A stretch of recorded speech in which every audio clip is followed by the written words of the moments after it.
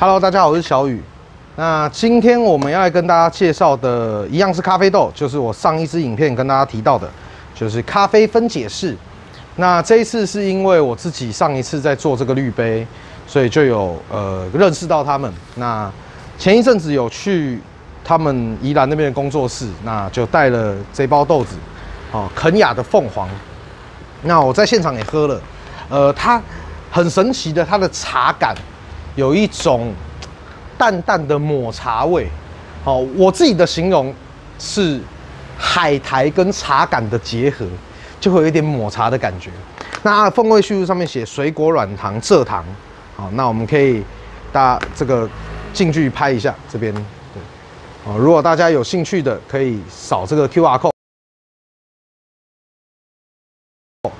哦，咖啡分解式。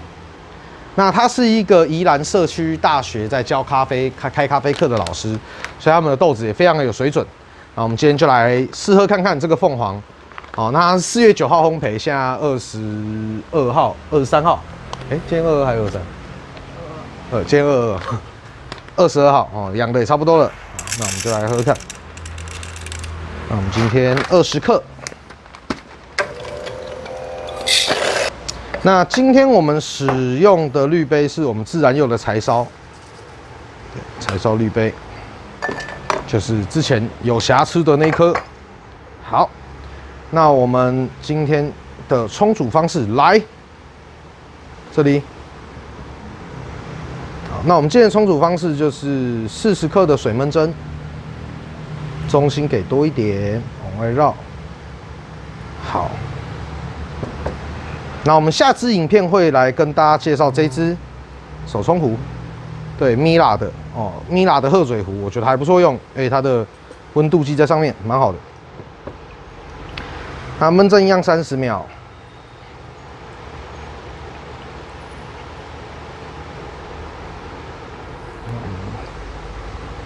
第一段注水，我们从中心。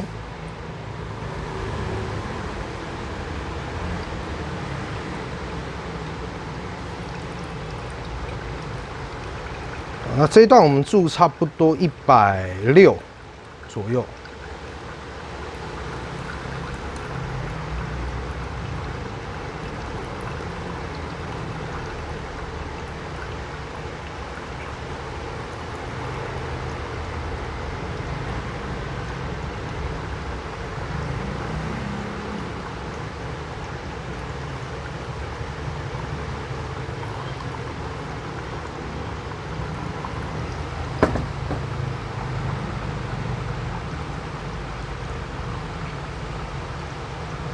好那我们最后再补两次五十，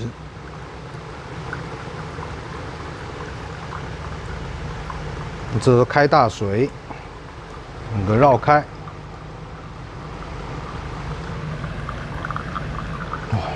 有这样闻就有那种抹茶香。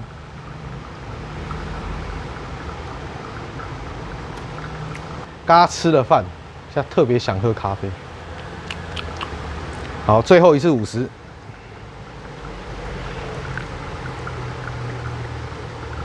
其实我现在讲这个什么几 CC 啊，然后什么五十五十，其实我没有用称量啊，就大概差不多差不多，嘿，就大概差不多差不多了。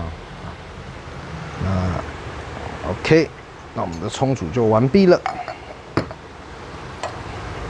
那我们今天用的杯子呢，是一个也也是宜兰哈。今天既然我们要冲宜兰的豆子，那我们就是用宜兰的杯子，我们宜兰的一个陶艺工作室哈。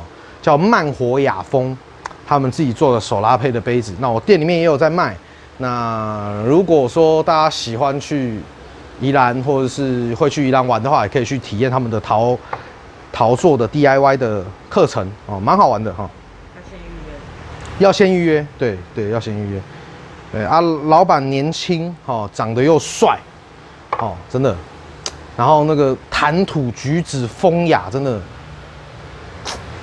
帅哥啊，目前单身啊。你要随便骂人家真有对啊，这来，我们小编，我我我我们的拍摄嘴话说，你说什么？我说不要随便骂人家真有，人家没有，然后干嘛好吗？这种东西就这样，你知道吗？就是缘分这种东西，就是如果来了就来了，好，就跟咖啡一样，哦，这次冲坏了就是冲坏了，哎，冲的好就是冲的好，对不对？哇，OK，他跟我上一次在，哎，我干嘛拿着？等一下啊，夹回去。啊，算了，我还是拿走，夹不回去。呃，跟我上次在他们工作室喝到的感觉几乎是一样的哈，它是一点海苔的那种、那种、那种香气吗？然后配上呃茶感，哦，所以它的风味非常的接近抹茶。哦，那个摄影师要不要喝喝看？不要。不要。哦，那尾韵哈，它中后段的那个甜味。带有一点点水果软糖的感觉，所以我觉得这一只凤凰就肯雅的凤凰，我觉得还蛮不错的。那如果大家真的哎蛮喜欢哦，看我这样子喝，觉得哎还不错，可以到咖啡分解室的 Facebook 哦，那可以跟他们买豆子，他们也会帮你服务。OK。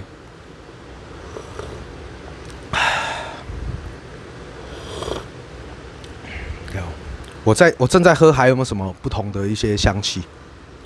那现在热的。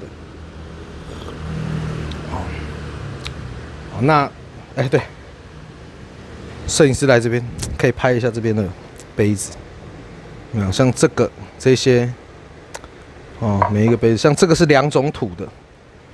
好，那我现在在店里面也都给客人，就是用我们慢活雅风的做的手拉胚的杯子。那大家有兴趣的话，可以到宜兰，那一次可以去到两个地方，就是咖啡分解室跟慢活雅风。那我是小雨，今天的分享就到这边，Goodbye。